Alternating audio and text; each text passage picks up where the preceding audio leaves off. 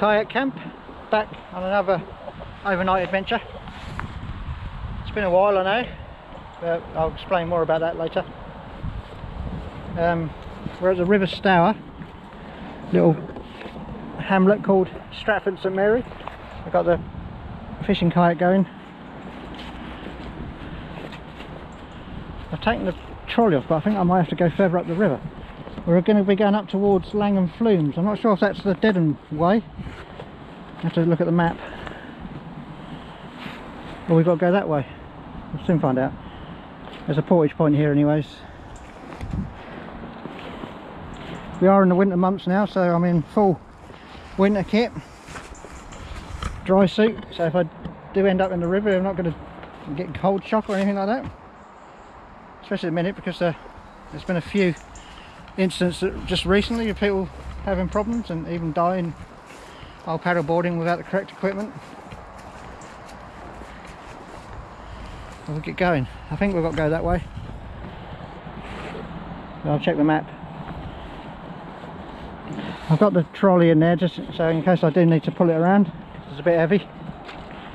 I've got um, camp kit on the back some dry clothes for tonight got some fishing gear with me as well so I might do a little bit of fishing. We've got all day and it's not very far so I've got to take it easy because I've got a, a shoulder injury. As I said more about that later on. We'll get going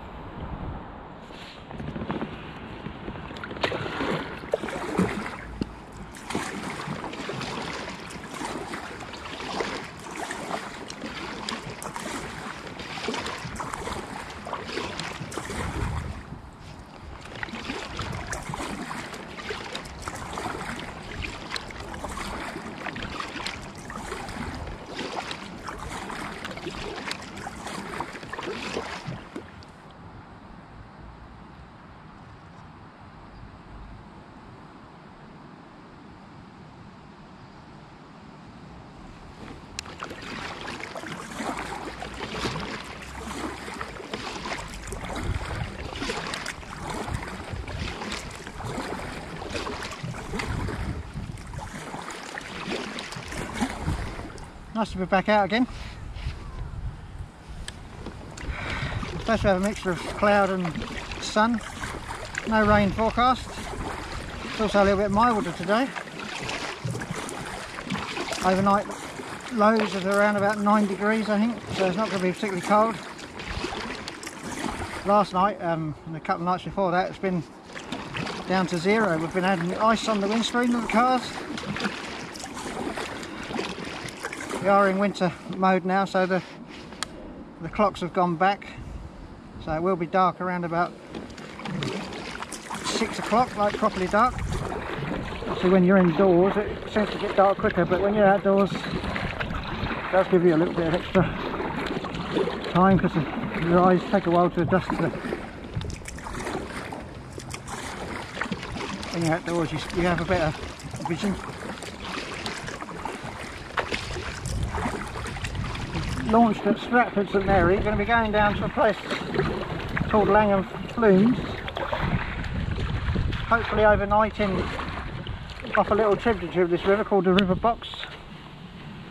It's actually a place I stopped at on my um, Sudbury to Stour walk, um, Sudbury to Fort um, Stour walk. It's easy to pull the kayak out there because there's, um, there's access, access to the river that goes low middle of nowhere so it shouldn't be a problem. Camped there before with no issue, you can see the sole. Because it's, because it's a, a well away from the footpaths and stuff. Quite a few foot, foot, footpaths around this area but as we found out on, the, on that walk that there's a lot of places where you can't actually go near the Stour because they're private properties.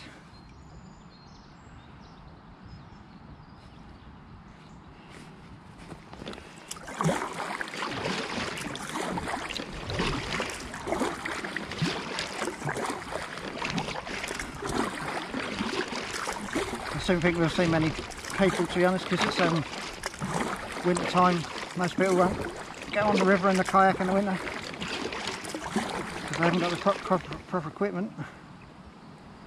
You really don't want to end up in this river um, water because it's pretty cold.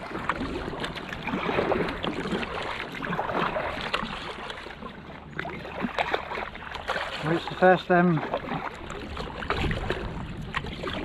building along the way. A place called Higham Hall Farm looks of it. I suspect that's a private launching point. Yeah, it's a big sign that says private. Very nice, having a house that goes down to the river. Massive house to go with it and all. Church built in on the ground. There's the house that we'll do a turn and you can see.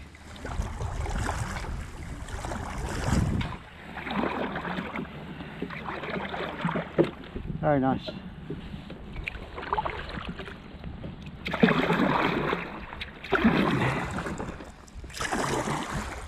Far as I can make out, paddling wise, we're about a quarter of the way there.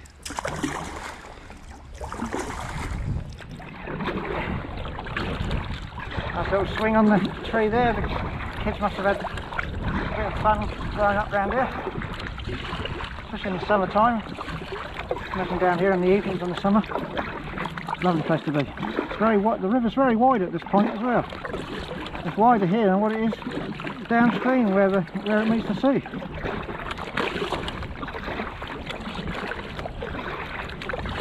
Because it's wide it means it's very slow flowing.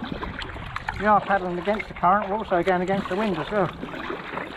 So tomorrow's paddle back's going to be a lot easier.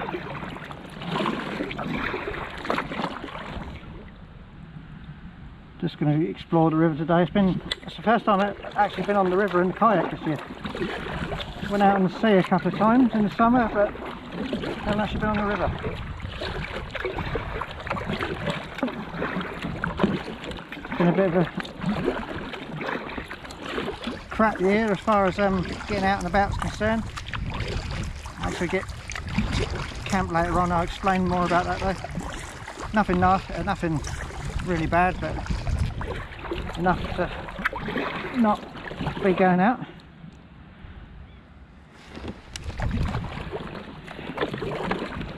Just been one of them years. Sometimes you have, you have to take the rough and smooth. Some years are good, some years are bad.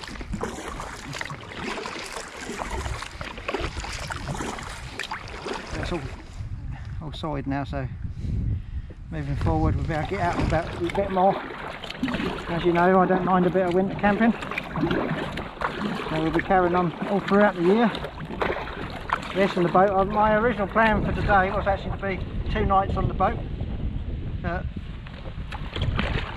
the way the sea state is at the minute, we've got a wind against tide situation for the next two days, so it makes it pretty uncomfortable to be out there. So I thought I'd do this instead. I haven't done it for a long time. Anyway, that's nice to be out. We'll carry on going further down the river and come back. Getting a little bit of paddle splashes on me.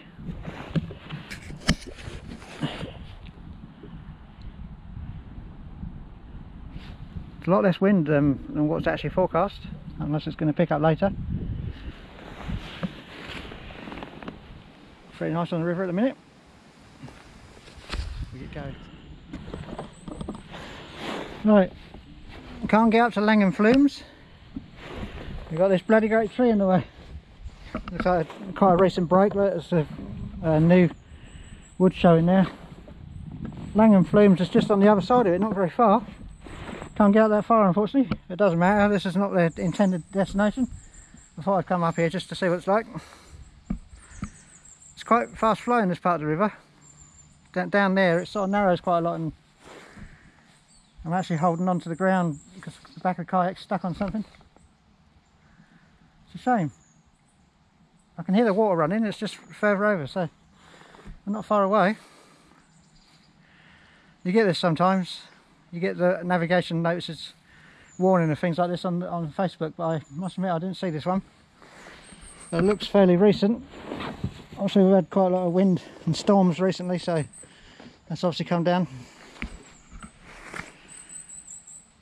It's a bit of a pain really um, for anyone who's coming down from Langham because There's no, no nowhere really around here where you can pull out and then put back in again. Oh well, it's just one of them things. We'll run further down the river and you'll see the faster moving section. Took a little bit of effort to paddle up here and that through that. The reason it gets um, fast is because it gets very shallow and also narrows. So obviously that large body of water has got to squeeze through that little tiny gap.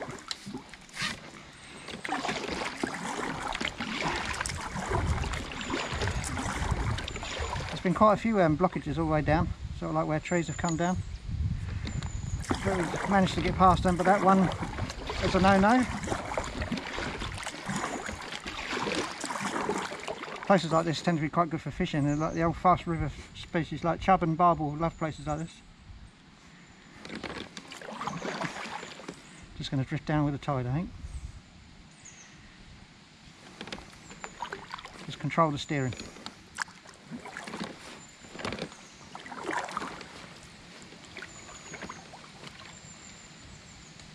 Cool. Paddling with no effort.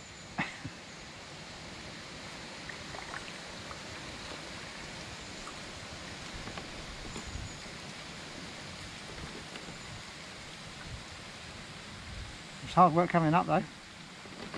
Obviously because it's fast, paddling against it was a bit of a challenge.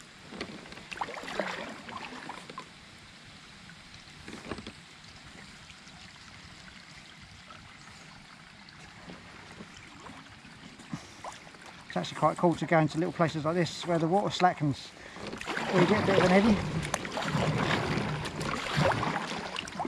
Just to sit there for a while, chillax. the water deepens here, that's, that's why the current has slowed right down. Another good spot for fishing because the, the food collects, all the food that's running down the river gets deposited into places like this. It's completely calm in this section.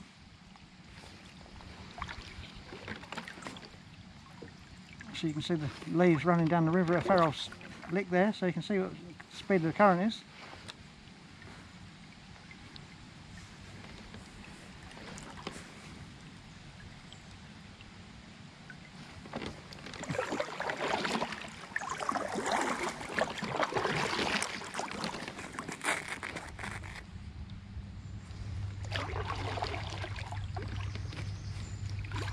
Down there. There's a, another tree that's come partially down. Not a problem though because you can get past it. I know this river's quite popular with paddleboarders so they must have a little trouble getting past these fallen trees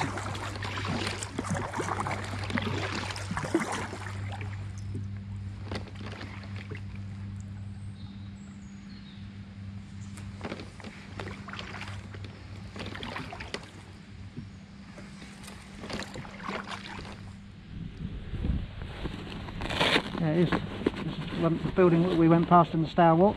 That's the bridge you go across. That means we're not very far away from the River Box, which is our intended destination.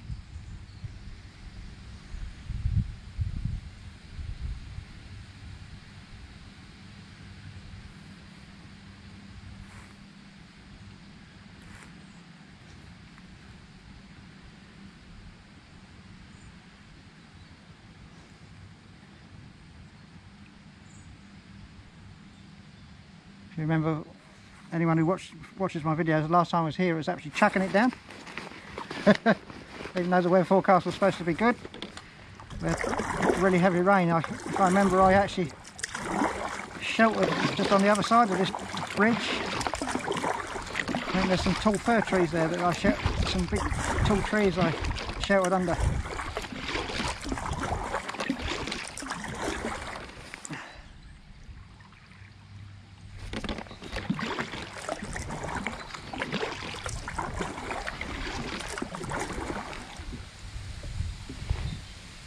don't think this um, pumping station's actually active anymore. It's just a, a derelict building. You see most of the water for this area comes from reservoirs.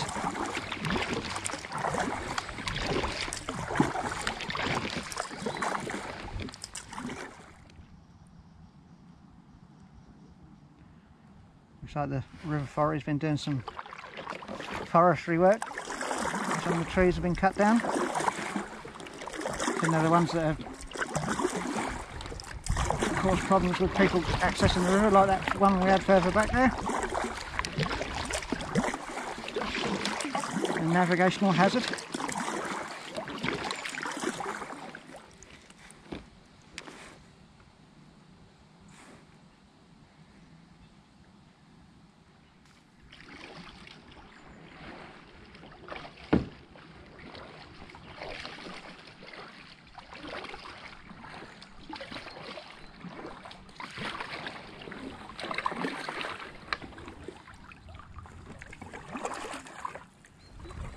Found a spot. Not the planned one though, so I couldn't get there. My original plan was to go up this little river, but as you can see it's a bit small. I couldn't get up there, there's just too too much vegetation. The planned spot was further down, but this spot's okay. I pulled the kayak up here and it got a bit muddy doing it because I tried going down there and pushing my way through, but it was just too narrow in places, so I had to give up on that. So everything's a bit filthy at the minute, unfortunately. So I have to give it a good wash when I get back. Can have some food, drink. Might get changed as well.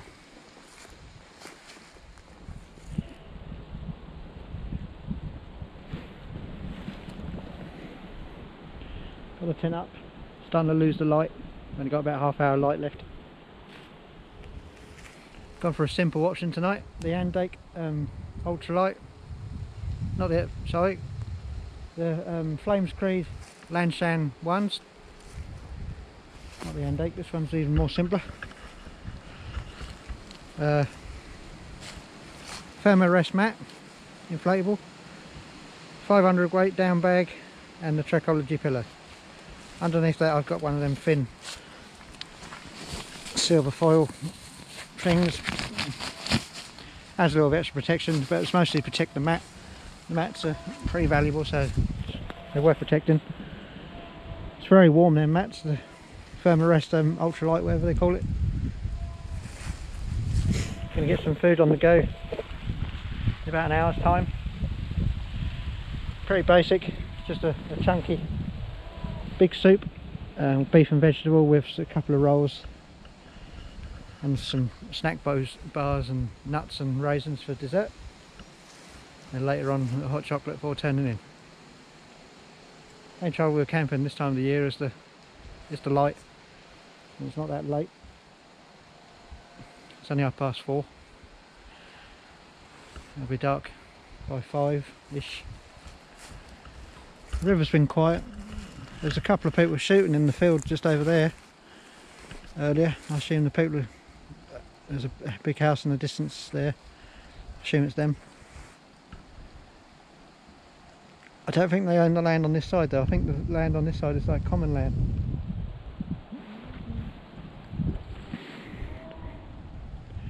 People fish on this side. I haven't actually seen anyone there. We had some big herd of cows here just earlier, but there's only one left now. That, uh, a couple. Tell a lie, they've actually moved off in the distance over there. Interesting to watch. They were a few good moves. Haven't been out much this year. I said I was going to explain a bit more, but what it was, two weeks after my last camp, which I think was the beginning of July, my wife became very poorly with gallbladder issues.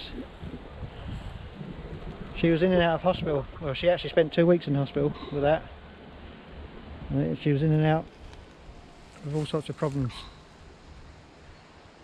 Um, I couldn't leave her at night and for several weeks afterwards as well. And that took me right, uh, that took away any um, overnighting right until the end of, more or less the end of August to be honest. Obviously family comes first, especially your wife. Especially she watches these as well. Know. It's not. It's not nothing to joke about. Family always comes first. There's always time for camping and sailing, whatever, at a later date. I was all ready to get back to it at the end of, well, in September. And then I did a, a couple of small trips on the boat, which I didn't actually film. And then, um, beginning of October,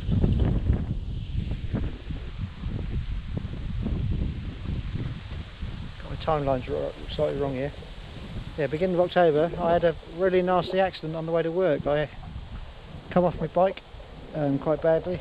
I broke two ribs, cracked a little bit of bone off my hip, smashed my face up. Uh, my knees, took the skin off my knees, all sorts of problems. I was in pretty bad shape for a few weeks, then uh, I was off work for nearly six weeks, and I went back to work uh, last week. This week's my first full week of being at work.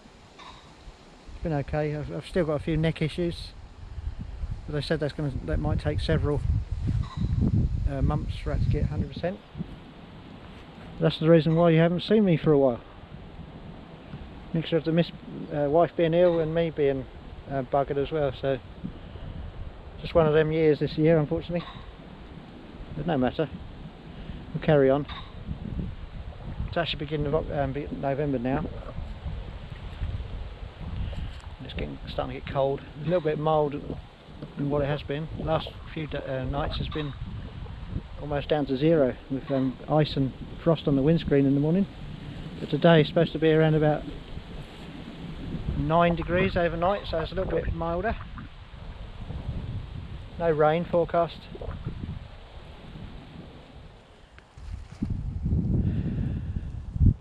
We're going to get some food. I, I suspect I'm starting to fade now because the light's starting to really go. Using the GoPro because um, obviously being in the kayak you can't let your normal camera get wet. Tomorrow morning's supposed to be alright. Film some more in the morning. Catching breakfast. Got uh, bacon and uh, egg wrap tomorrow. I brought the Trangia cooking set tonight.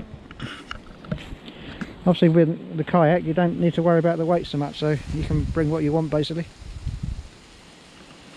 Gonna get some food on shortly and get warmed up. See you tomorrow morning.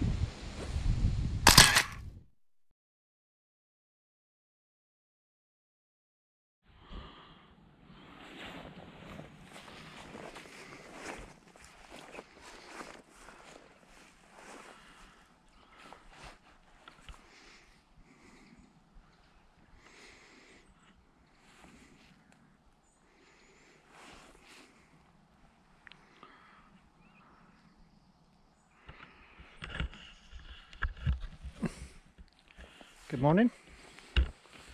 Had a comfortable night's sleep. Went to bed fairly early, about 8. Up around about 5ish. Packed away and just as it's getting light, just had breakfast. Uh, a bacon and egg um, wrap and an orange. And a really bad cup of coffee because the milk had gone a bit funny. We're gonna pack this a lot away. Tent was just um, there, as you can see from the little bit of flat ground. It's a nice flat spot. Doesn't look very flat, but it was comfortable. Had a really good night's sleep to be honest, because um, getting a bed early. Really warm. I, I wore my softies inside the sleeping bag. It was only a lightweight sleeping bag, but wearing the softies inside, down softies, made the made it nice and thick. That with a, a thermal sleep suit. It's a very comfy night.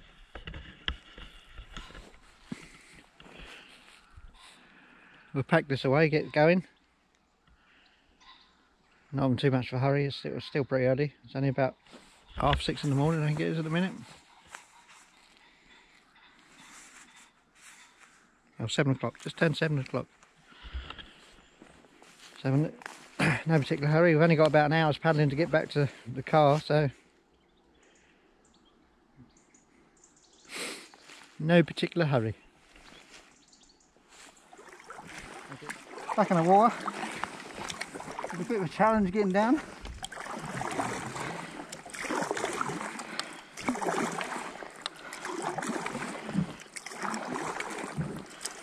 There we did it. Almost lost a shoe in the mud.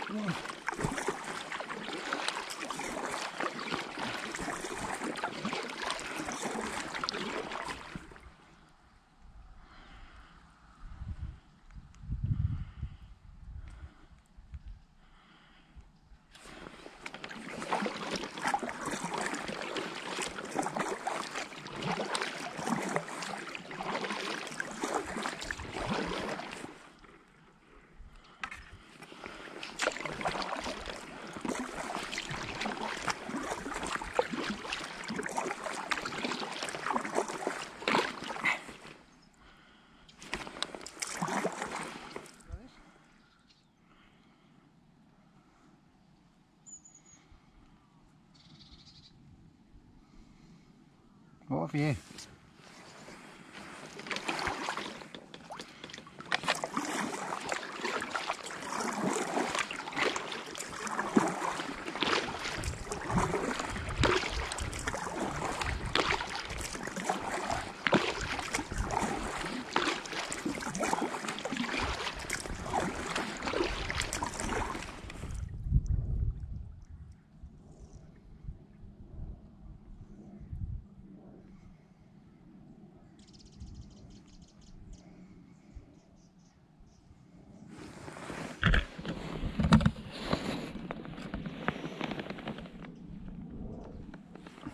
drifting along with the current here. As I said, there's no hurry get back. Not too far to go. Covered in mud again.